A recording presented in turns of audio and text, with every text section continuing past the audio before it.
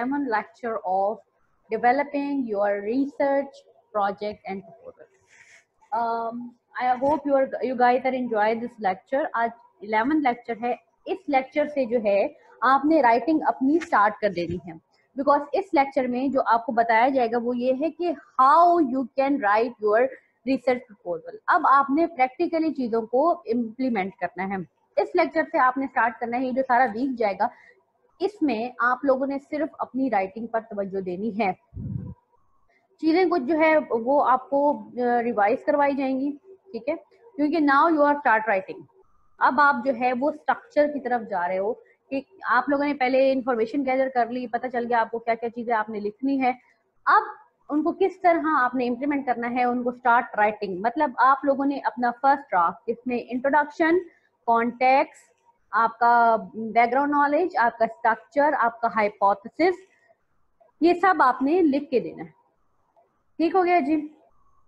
Methodology भी इस week में आपको पढ़ाई जाएगी। ठीक है जी?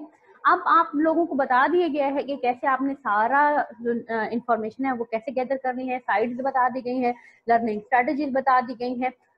कैसे आपने टेबल को मतलब कैसे आपने टेबल आउट करना है या मैप आउट करना है, चीज़ों को अपनी लाइफ में वो चीज़ बता दी गई है। कैसे आपने मतलब आपकी मैक्सिमम जो है वो इम्प्लीमेंटेशन जो आपने बाहर से जो मटेरियल यूज़ करना है आई होप आप लोग वो इकट्ठा कर चुके होंगे for the first draft second draft के लिए आपको थोड़ी सी ज़्यादा और मेहनत करनी है री ड्राफ्टिंग करनी होती है, हमें री एडिटिंग करनी होती है वो भी हम आगे जाके बताएँगे इसी वीक में। सॉरी कि कैसे आप लोगों ने चीज़ों को लेके चलना है, कैसे जो है वो आपने इम्प्लीमेंट करना है। इस फ़र्स्ट लेक्चर में इलेवन वीक में sorry sorry sorry eleven lecture में आप लोगों ने क्या करना है, आप लोगों ने लिखना स्टार्ट करना। आप लोगों ने हेडिंग लिखना स्टार्ट कर देनी है इंट्रोडक्शन उसमें अपना नॉलेज शेयर करना है, जो भी आपने अब डिफरेंट तरह का आपने जो है वो स्टार्ट कर दिया होगा मटेरियल गैदर करना। आप लोगों ने इंडेक्स बनाना है, कैसे आप लोगों ने इंडेक्स बनाना है, वो मैं आपसे शेयर कर चुकी हूँ। कॉन्टेक्ट लिखना सब्जेक्ट लिखना है टॉपिक लिखना है थीम लिखनी है क्वेश्चन शेयर करना है। एक 200 टू 300 वर्ड का आप लोगों ने एक पैराग्राफ बनाना है। बहुत छोटा पैराग्राफ होता है, इतना ज़्यादा नहीं होता। वर्ड ज़्यादा लग रहे हैं बट पैराग्राफ छोटा सा होता है, बहुत बड़ा नहीं होता। आपको अगर राइटिंग प्रैक्टिस है तो ये आपके लिए बहुत आसान है। इंट्रोडक्शन लिखना है टू पैराग्राफ का। देन एक ब्रीफ आप टू पैराग्राफ का जो है, इसको दे दो कॉन्टेक्ट को दे दो। कॉन्टेक्ट के बाद आपने स्टार्ट कर देना है अपना क्वेश्चन क्वेश्चन लिखना है हाइपोथेसिस देना आपका बहुत इंपॉर्टेंट हाइपोथेसिस अपना ड्राइव करना है। अब जब आप ये सब कर लोगे, ये आप लोगों ने इस वीक में सबमिट करवाना है। मैं अभी से आपको बता दूँ कि इस वीक की जो असाइनमेंट है, वो मोस्ट इंपॉर्टेंट असाइनमेंट है। मैं पहले से बता रही हूँ आपको। कि इसमें जो है आप लोगों ने मुझे अपना फ़र्स्ट ड्राफ्ट सबमिट करवाना है। उसी के बेस पे होगा कि आप लोगों ने क्या सीखा, आप लोगों को फ़र्स्ट ड्राफ्ट स्ट्रक्चर करना आया या नहीं आया, आप लोगों ने कौन कौन सी साइड यूज़ की रेफरेंसिंग जो शॉर्ट रेफरेंसिंग होती है, वो फ़र्स्ट अभी आप अपने तरीके से करें, फिर मैं बताऊँगी कि क्योंकि सेकंड ड्राफ्ट होता है, उसमें हम ज़्यादा रेफरेंसिंग एंड बिब्लियोग्राफी यूज़ करते हैं तो वो मैंने नेक्स्ट वीक के लेक्चर्स में रखा है इसको। लेकिन इस आप लोगों ने कैसे कैसे मटेरियल जो है वो जमा किया है, उसको कैसे आप यूटिलाइज करेंगे? ये जो है, अब देखना है आपकी राइटिंग स्किल जो है वो क्या है? आपने कैसे जो है चीज़ों को आप लेकर चलेंगे ये बहुत बहुत इम्पोर्टेंट लिखना स्टार्ट करेंगे तो आपको नॉलेज आएगी कि आपका लिखने का लेवल क्या है। आप कॉपी पेस्ट की तरफ़ तो नहीं जा रहे हैं। क्या आपने नोट्स बनाए हैं या नहीं बनाए? अगर आपने प्रॉपर नोट्स बनाए हैं प्रॉपर गाइडेंस ली है तो आपको कोई भी इशू नहीं होगा। अगर आप लोगों ने अपना मेथड यूज़ किया है, आप लोगों ने बस ये सोचा है कि एंड टाइम पे हम चीज़ें जो है वो डाउनलोड कर लेंगे और बहुत सारा मटेरियल हो जाएगा तो वो मटेरियल सम आप कभी भी नहीं होता। याद रखें, अगर आप टाइम पे काम नहीं करते तो क्योंकि जब माइंडसेट बनाया जाता है क्रिएट किया जाता है नॉलेज को तो उसके लिए बहुत ज़्यादा ज़रूरी है कि आप अपना माइंडसेट बनाएँ अकॉर्डिंग टू द सीक्वेंस ये सीक्वेंस जो मैंने आपको प्रोवाइड किया है, ये फॉलो करें तो आप पहले अपना माइंड मैप बनाएँगे, फिर अपनी लेआउट्स बनाएँगे। किस किस तरह किस सीक्वेंस से आपने मटेरियल को जमा करना है, वो मैंने आपको बता दिया। किस तरह जमा करना है, ये भी मैंने आपको बता दिया। कलेक्ट करके किस तरह अपने पास नोट डाउन करना है, ये मैंने, अब आपको जो एक लेक्चर दिया था, कि जिसमें आपने तीन तरह के था कि माइंड मैप बना लें इंडेक्स बना लें कार्ड बना लें या फिर आप कोई चार्ट लेकर उस पर डिफ्रेंशिएट कर ले चीज़ों को। वो सिर्फ़ इसलिए बताया गया था कि आपने, अब जब अपने वर्ड में आप लिखना शुरू करते हैं चीज़ें तो वो बहुत ज़्यादा इफ़ेक्टिव होती हैं।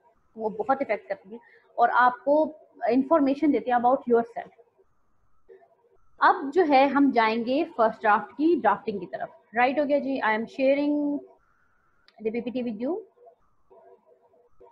okay जी, जनाब, ये पीपीटी आ गई है आपकी।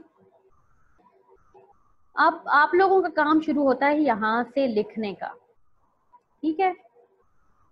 अब यहाँ पर सबसे पहली चीज़ है, आपका टॉपिक जो है आज का, first draft, writing, structure, your research proposal.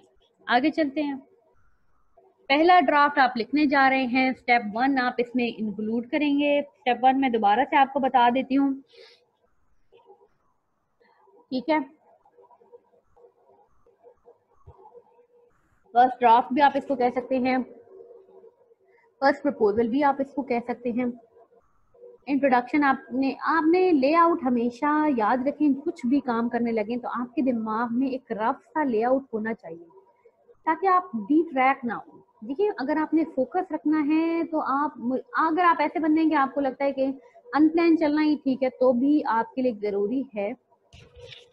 एक रफ प्लान आपके दिमाग में हो, ठीक है? जैसे इंट्रोडक्शन है कॉन्टेक्स्ट है हाइपोथेसिस है स्ट्रक्चर है। अब आप लोगों ने इंट्रोडक्शन लिखना स्टार्ट कर दिया है। इंट्रोडक्शन में आपने अपना सब्जेक्ट के बारे में जितनी भी टॉप सब्जेक्ट मतलब जो टॉपिक आपने चूज़ किया है उसके बारे में जो भी टर्म्स हैं डेफिनेशन हैं, आपके दिमाग में जो क्वेरीज है, आपने डाल दिया है। आपको ने इंट्रोड्यूस करवा दिया अपना सब्जेक्ट टू द ऑडियंस ठीक हो गया? आप लोगों ने बताया है कि कैसे कोई भी define for example if you are a student of chemistry तो आप लोगों ने क्या किया है कि उस केमिकल के केमिकल है, उसके ऊपर जो रिएक्शन होते हैं फॉर एग्ज़ाम्पल आपका क्वेश्चन था कि जी एयर और एयर का और वाटर का reaction on some chemical for example आप एक लेते हैं I am not a chemistry expert but मैं एक एग्ज़ाम्पल इस तरह लेती हूँ। तो आप लोगों ने क्या करना है? पहले उस केमिकल के बारे में लोगों को इंट्रोडक्शन देना है। इसी तरह, अगर आप जोलॉजी के स्टूडेंट हैं तो आप लोगों ने पहले बताना तो है ना कि वो एनिमल कैसा है एनाटॉमी कैसी है फिजोलॉजी कैसी है उसकी, वो एनिमल किस ब्रीड का है क्या हाइब्रिड है या नहीं है, ये सारी चीज़ें आपने बतानी है। अगर आप मैथमेटिशियन हैं तो आपको बताना पड़ेगा कि ये इक्वेशन कहाँ से डिराइव हुई? ये इक्वेशन का बैकग्राउंड क्या है? कैसे ये इक्वेशन आई हमारे पास? किस मैथमेटिशियन ने इसको बनाया? या कैसे इसको ड्राइव किया? ठीक है, ये बैकग्राउंड नॉलेज होती है। लेकिन इसको यहाँ बैकग्राउंड नॉलेज नहीं कहना है, क्योंकि ये बैकग्राउंड नॉलेज नहीं है, ये प्रेजेंट की जो है इंट्रोडक्शन है आपका। बैकग्राउंड नॉलेज में हम काफ़ी सारी चीज़ों को रिलेट करते हैं फिर। अब आपने क्या कॉन्टेक्ट लिखना है? अपना क्वेश्चन लिखना है। उसके ऊपर आपके क्वेश्चन के ऊपर जो क्यूरीज है वो लिखनी है। क्यों आप ये ने ये क्वेश्चन निकाला है? ऐसा कि, किस पेपर में कोई गैप था तो आपको लगा कि हाँ ये गैप मैं फाइंड कर सकता हूँ या कर सकती हूँ? तो आपने वो क्वेश्चन निकाल दिया। हाइपोथेसिस क्या डिराइव किया है? किन दो चीज़ों को लिया है या चार चीज़ों को लिया है उनके वेरिएबल्स बनाए हैं और उसको एज अ हाइपोथेसिस शो किया है? स्ट्रक्चर क्या है आपके? आप क्या स्ट्रक्चर करना चाह रहे हो? जब आपने हाइपोथेसिस बता दिया, आपने बता दिया कि मैं इस इस तरह का काम करना चाह रही हूँ, मेरे, मैं डेटा कलेक्ट करूँगी, मैं डेटा कैसे कलेक्ट करूँगी, मेरा डेटा कलेक्ट करने का जो पीछे स्ट्रैटेजी है वो क्या होगी?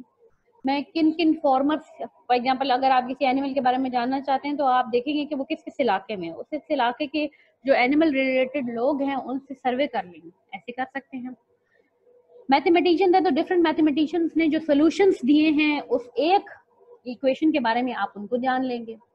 तो ये एक स्ट्रक्चर आप बनाएँगे। अभी आप शॉर्ट स्ट्रक्चर बना रहे हैं। अभी आपने टेन टू ट्वेंटी या मिनिमम आप टेन पेजेस या फिफ्टीन पेजेस को कवर करेंगे इसमें। ठीक है? पर पेज में आपने कुछ में डिफाइन किया होगा, कुछ में टेक्निक्स बताई होंगी। अब ये लिखना है आपने, ठीक है? अब आपने, अपने दिमाग में एक चेकलिस्ट बनानी है। ये चेकलिस्ट मैं पहले भी बहुत दफ़ा बता चुकी हूँ, लेकिन ये एक चेकआउट है। क्रिटिकल रिव्यू है, ठीक है? आप लोगों ने एविडेंस किस बेस पे कलेक्ट किए हैं, वो है। सिंपल एविडेंस आप यूज़ इसमें कर सकते हैं एंशियंट यूज़ कर सकते हैं स्पेसिफिक और इनफेक्टिव क्योंकि ये आपका फ़र्स्ट ड्राफ्ट है, लेकिन इस, आप लोगों ने हमेशा ये चीज़ याद रखनी कि आपने जाना है सिंपल से कम्प्लेक्स की तरफ़ एंशियंट से मॉडर्न लैंग्वेज की तरफ़ मॉडर्न मॉडर्निज्म की तरफ़ मॉडर्न रिसर्च की तरफ़। स्पेसिफिक से जर्नल की तरफ़। हर चीज़ के दस पहलू होते हैं। उनमें से कम से कम तीन या चार को तो आपने कवर करना ही है। इफ़ेक्टिव बनाना है। Body of proposal overview and example अब General concentration and presentation of the background of the issue is raised by the question and your angle of position. अब ये मैं अगर इसको पढ़ने जाऊँ तो आपको शायद मैं आपको बताऊँ। इसका उर्दू में कहते हैं, लबो लबाब, क्या है?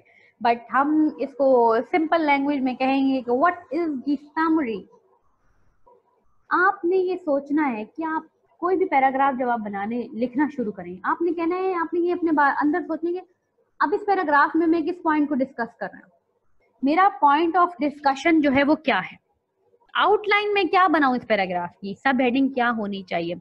जो मैंने एविडेंस इकट्ठे किए हैं, क्या वो इसको लिंक कर रहे हैं या नहीं? क्या मैं आर्गुमेंट को भी लिंक कर रहा हूँ या नहीं, या कर रही हूँ या नहीं? या मैं ऐसे ही जो है चीज़ों को आगे की तरफ़ लेकर जा रही हूँ? यानी कि दो पैराग्राफ का आपस में लिंक होना बहुत ज़रूरी है।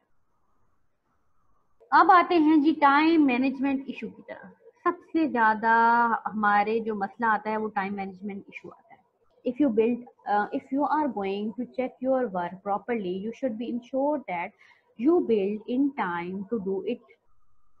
पहली बात हमेशा प्लान आउट करें। रॉ प्लान आउट करें या फिर proper in list plan out करें। मगर अपने दिमाग में चीज़ों को टाइम के साथ प्लान आउट ज़रूर करें।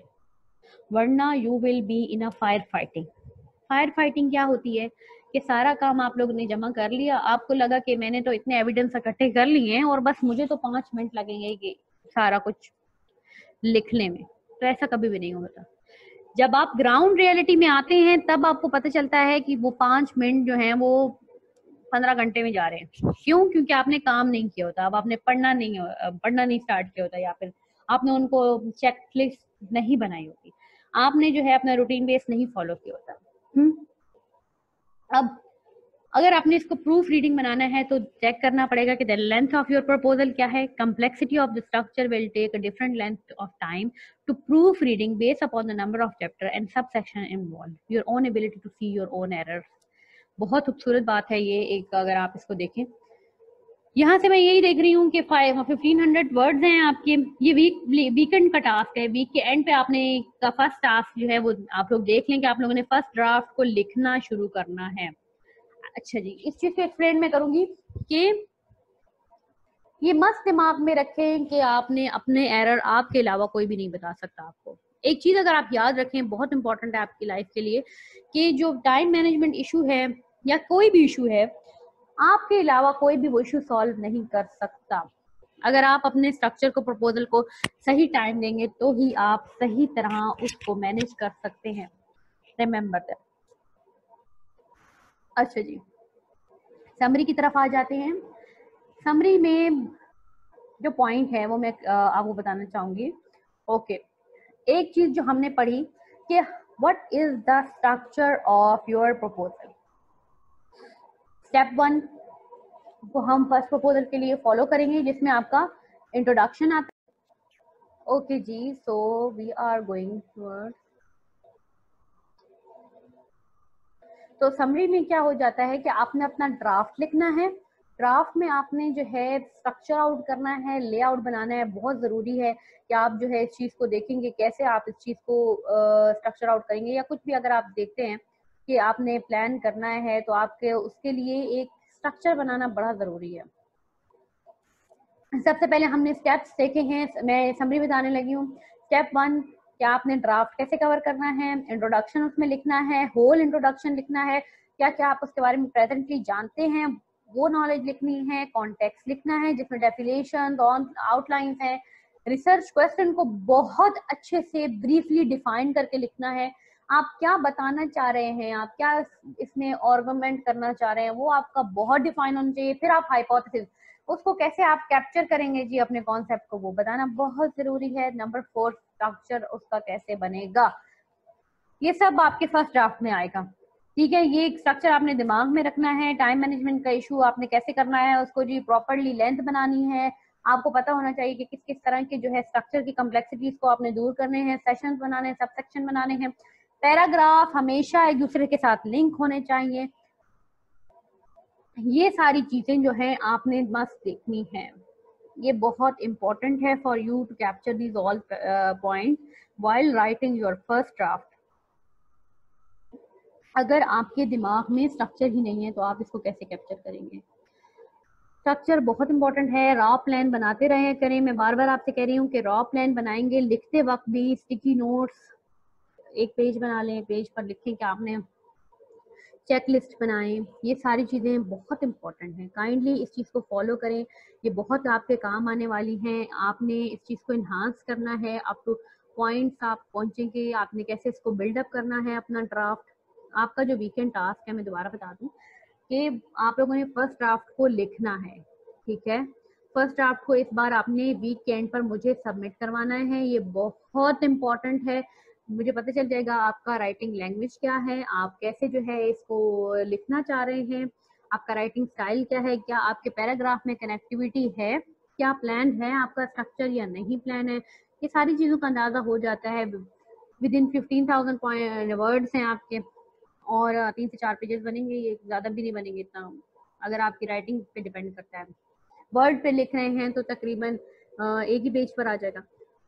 सो इट्स डिपेंड कि आपका लिखने का अंदाज कैसा है? कोशिश करें तीन से चार पेजेस को इसको कवर करें, एक मैप बनाएँ, क्या हेडिंग ऐड करनी है वो सोचें और अपने फ़र्स्ट ड्राफ्ट को लिखना स्टार्ट करें। स्टार्ट राइटिंग अपने आप को ज़रा फोकस करें इंथुजिस्टिक रहें अपने स्ट्रक्चर के बारे में। मिलते हैं आपसे नेक्स्ट लेक्चर में। आई होप आपको समझ आ गई होगी कि आपने क्या करना है इस लेक्चर में।